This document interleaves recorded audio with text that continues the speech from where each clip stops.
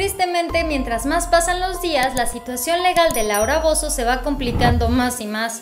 Parece ser que la conductora peruana muy pronto le verá la cara a la justicia mexicana, ya que un juez federal dio la orden para que la Fiscalía General de la República actúe en contra de la conductora. El juez noveno de Distrito de Amparo y Juicios Federales Juan Miguel Ortiz Marmolejo negó una suspensión definitiva con la que Laura Bozo intentó frenar por un tiempo indefinido el hecho de que se la llevaran a las instalaciones de la policía. En este momento recordemos que el mismo juez le otorgó a la señorita Laura un amparo para que no se la llevaran aún. A cambio, Laura Bozo tenía que hacer un pago de 300 mil pesos y entregar su pasaporte. Sin embargo, Laura Bozo no acudió al juzgado y mucho menos entregó este documento de identidad. Hoy el juez decidió negar la medida cautelar solicitada, por lo que ordenó proceder en contra de la conductora Laura Bozo. Él ha mencionado que la policía ya se la debe de llevar a Santiaguito, en el municipio de Almoloya de Juárez en el Estado de México. Con sus propias palabras, el juez mencionó, se niega la suspensión definitiva en el presente incidente de suspensión promovido por el defensor particular de la quejosa Laura Cecilia Bozo, en contra del acto.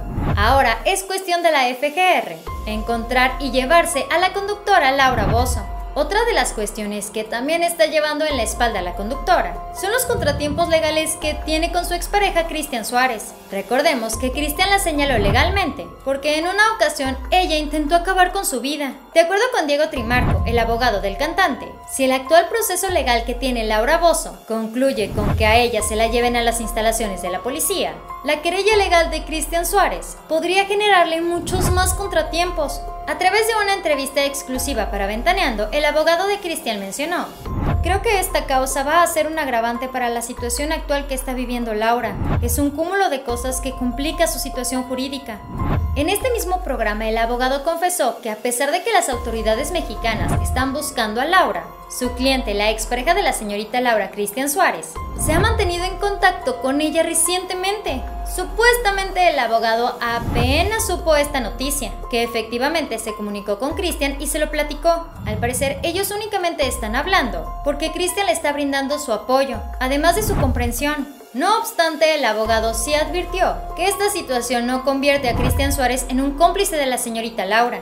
Esto al menos hasta que no reciba algo de dinero proveniente de Laura Bozo. A lo largo de su extensa carrera, Laura Bozo ha sido muy controversial. Ella ha estado apoyando y señalando a muchísimas personas a lo largo de su trayectoria, pero ahora parece ser que todo está por cambiar, aunque este caso parece que no tiene fin. ¿Acaso se la llevarán a las instalaciones de la policía?